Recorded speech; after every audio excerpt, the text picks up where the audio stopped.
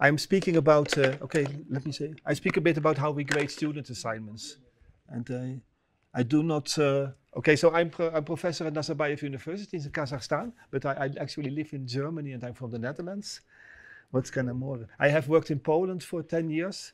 That let's not waste too much time. I, I implemented logic in, uh, in C++, is how I learned C++, but uh, I, I, I, like to implement all kinds of small things. And, and yes, and uh, I teach the data structure course. Well, let's put on the glasses, okay? Maybe I can read it here. So the, we have a first programming class which is based on C. I don't really like it, but it's a fact that I cannot change now. It, it may change in the future. That, and the, the, next course is the course that I'm speaking about. That's, uh, that's data structures and complexity. And the, and the, the, we, teach just the data structures. It's data structures oriented. And so we, we, we explain what is a dynamic vector. They, they come from C, so they don't know, but possibly don't know what this is, that you have these vectors that can grow. We try to, uh, you have stack queues, BST, so binary search trees, hash set, hash map, all these kinds of things. We try to teach them uh, big O notation and what it means. We try to uh, explain how is it called amortized complexity. And uh, and I try to, I put emphasis on good C++ practice, on good programming style, uh, so independent of C++. And, uh, and there are 250 students uh, taking this uh, every year. And uh, we have four assignments, and, and these need to be graded. And I, I speak mostly about this grading process. So, do I have a sense how much time I have? Is there some kind of five minutes? Yeah, but already, oh. this one is already gone. Okay. You gotta go fast. Okay. Yes. Okay, so the challenge is there's a large number of students, uh, not too much uh, staff, and uh, and we have we have typically also uh, just uh, if you want to, uh, we just don't have enough classrooms for all these students, and that's a problem. But that's not all students are very well motivated. That's a bit. I mean, this sounds negative. It's a small fraction, but somehow this small fraction is capable of producing many problems. so that's but really the vast majority of students really tries to do their best. And then there is the internet, there's Telegram, uh, there's uh, ChatGPT. Uh, students are creative, mm -hmm. and uh, and uh, this is a problem. But uh, this this is also not what I'm speaking about. So, okay, okay, I, am so. But I, I'm so I'm also here not only to speak but to learn something. I hope so. The problem with coding is you actually must give you must give real assignments to the students and then sit down with them and, uh, and look at what they produced and, uh, and really read it. But we, we just, there's no way, we have no time for that, no way. Because uh, but it's a, it's a bit like music. I think programming is really a bit like music education. You, you really need to spend time together. But you know, uh, let's say, so we, we just don't have the resources to sit with down with the students. Also, you know, crazy, craziness is, is, is incredibly complex. So you, students are capable of writing code that is so complex that you really have to think about it uh, like one hour, and then to you have to argue with them. They're going to defend their code, and it, it, it just it doesn't go. I don't know. So the students tend to be very defensive, and uh, so so what we really do is give very small uh, tasks. Like like we ask them uh, really, we give them a header file, and they have to implement function by function, and these functions are only say 10 lines long. And that's somehow doable. Uh, and, and this gets graded automatically then. We just, uh, that, that is, uh, so things like push, uh, call, uh, pop, and uh, really small things. So, okay, I, I will tell you something that programming is surprisingly hard. I mean, I don't remember it anymore. So there, there are some students don't understand, so a GCD function, you think it's easy let's say 10% of the students will probably never understand what is a GCD. That, that, we have to live with that. But so GCD function is partial, right? So zero, zero has no greatest common divisor. So it has already all the problems. And then it, it's also not, it's not well defined because if, uh, let's say, if, if n is a GCD of two numbers, then minus n is also a, a GCD. And it, I mean, a mathematician will not like this idea, but I think if you're a computer scientist, uh, then functions are ill-defined. And, uh, and if you use them, for example, to simplify rationals, both your, uh, it, it, must work independent of what the GCD returns, right? So you have, uh, you, you, you, must be generous in computer science.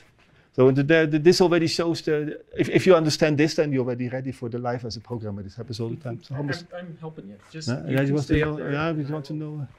Okay, then students will never understand what is a total order. So students, uh, right, they don't understand. Uh, I mean, uh, the, it's hard to understand what is a hash function actually, right? You have, a, you, have a, you have a notion of equality, and your hash function must agree with this equality. Students have problems with that.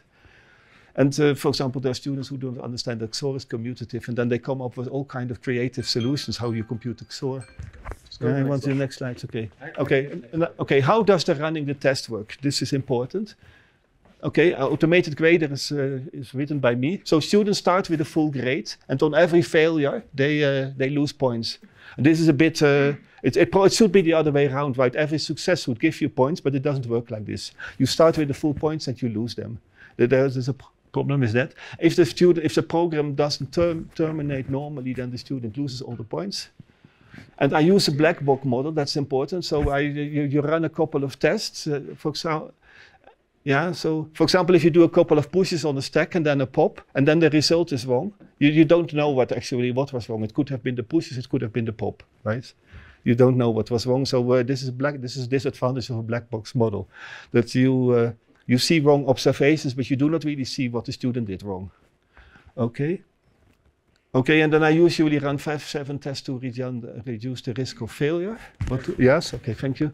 And we always, I, I use these options because these are the least forgiving, and uh, this is, uh, I, this is my experience. Because uh, if you, for example, and then we always run with Valgrind, and if uh, and if the if Valgrind complains, so we pass the output, student get lose, loses points, and students also the the Valgrind file grind output goes back to them. Next slide. Okay, and and but this is not enough. I, I, you, you really must inspect the code. So even students, if code passes the tests, they they still there's still crazy things in it. So here are a couple. So, but uh, for example, I check that they always uh, use size type for indexing, no uh, no other int types. I understand that the standard committee is changing its opinion that there will be a sign size type soon, but at, but at least it must be long enough, big enough. Th- This I uh, don't like if, if I see such code. Right, you, you understand what it does, right? It's a it, it, it most of on most computers it will change a capital letter into a lowercase letter. I don't like it when variable when variables are not initialized. Use of no pointer, I deduct points. Me- students must use member initializers. Uh, and improper use of try catch. I will explain you what that is. And bad lo- okay, lo- no, next one. Okay, now I just I end with some entertaining code fragments. What, what do you think of this? So the, the, this is this compares two strings if the if returns uh, if the uh, uh, case independent. So you would normally write an end here, but but it still works because a, a C, a STD string has a C string inside. So right, if they, if they have different lengths, one of them is going to have a null character, and it will, it will work, and it they, they will be just not equal. so this you wouldn't notice in testing because it will pass the test, but it's still bad code. So you have to look at it. Next one. Uh, this is this is cool one. So st- students uh, we allow them to compute hash values. So they, they know then uh, they know from Java that uh, hash values are computed like this. Right. So, so as the first one to zero, 31 to the power of n minus one. Okay, now the problem is you start with 31 to the power of n minus 1, and then uh, you get lower powers of 31. So how do you do this? You first compute, uh, well, you first compute the first power of, uh, yeah, here, the, of, uh, what is it, 31 to the power of the length, and then you di- divide backwards every time when you have the, need the lower power. So this, uh, and since it's, uh, I mean, it has, it's a hash function, that function that somewhat works, but still, uh, this is creative, right? Next one. Here is another one. You just use. You can also just use the power from the floating points, right? I think it does a Taylor expansion and it computes a logarithm. But okay, next. this is this. You can also compute the power every time new. So uh, right, that's why not. that is good. So that will also pass the next one. So okay, how if you, you need a big prime, so uh, you you divide it like this. So thi- this is all cut and paste from student code. Okay, this is uh, the next one. This is always this is this keeps on coming back. I, uh, it's uh, nothing wrong with it, but yeah, it keeps on coming back. Next. Okay, this this I already showed. This is also a creative way of converting lowercase to uppercase to lowercase. It converts a bit more, of course, but it's okay. it's, it's okay. Next. Okay, how do you find the sm- smallest uh, power of 2 that is greater than a given number? Well, well like this, of course. That's okay. Why not? Next. Oh, okay. okay, now we come to partial functions. So uh, let's skip this. I tell to the students uh, if you have a partial function, so a function with a precondition, you can. It's it's often reasonable just to assume that it, uh, you know, just uh, ignore it. Just assume that the that the condition is fulfilled. You can also check it and terminate your program or throw a logic error. But what is not acceptable is uh, check it, print a message, and then continue. and what is also not acceptable is check it and ignore it. But you know the students are doing it. Next slide. Okay, this is a, what is this? This is a case, this is a, so exercise. it's okay. And then, but the top of the creativity is this one. So this is the proper use of exception. okay. Yeah, and then my conclusion slide. So coding is hard, uh, teaching coding is hard, grading coding is hard, and you really must inspect the code because what you all everything that you would see there will pass the test. Okay. Mm, okay, thanks.